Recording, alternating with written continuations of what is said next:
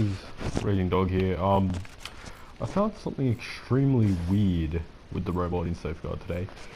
Um, it seems to be sprinting, and I don't know why.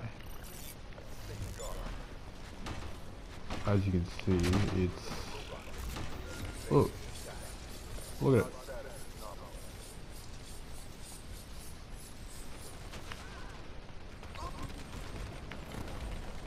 Look at it, it's sprinting. Like, what the hell? Like, I have no idea how this could happen. Like, maybe it has something to do with the boxes with the crossbows, as shown on screen right now. But I have no idea. I have no idea what it could be. Look at it.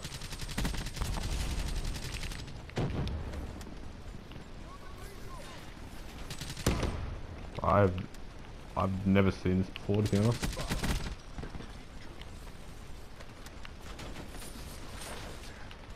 He, look, he seems to be acting like a GI unit, unit to be honest, but just doesn't have a gun, so... And obviously not going killing other teams, so... I don't know what's happening, um... What can you really say about this?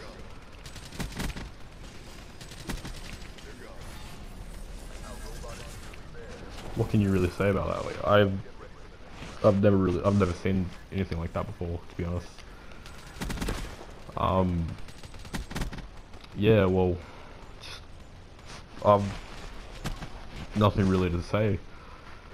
But um, yeah, in another 16 days, the new Eclipse Zombies map will come out. Call it Zetsu, Zetsuma no Shima, or Zetsu no Shima.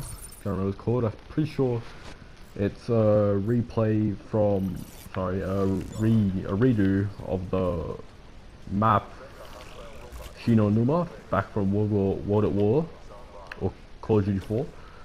And see, look, he's got the box. And he's got the crossbow, so I think that's just happening with the crossbow right now.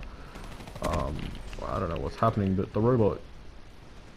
The robot's still running, so it's not just... It isn't just happening for our team.